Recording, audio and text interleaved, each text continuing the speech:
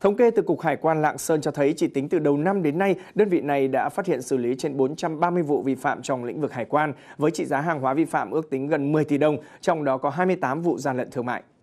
đồng thời ra quyết định xử phạt vi phạm hành chính đối với các tổ chức doanh nghiệp cá nhân vi phạm với tổng số tiền trên 2,5 tỷ đồng nộp ngân sách nhà nước. Thời gian qua, mặc dù lượng hàng hóa tiêu dùng được nhập khẩu vào nội địa qua các cửa khẩu hữu nghị và Tân Thanh khá lớn, nhưng với quy trình giám sát kiểm soát chặt chẽ, nhiều vụ việc vi phạm với những thủ đoạn hết sức tinh vi đã kịp thời được phát hiện ngăn chặn ngay tại cửa khẩu.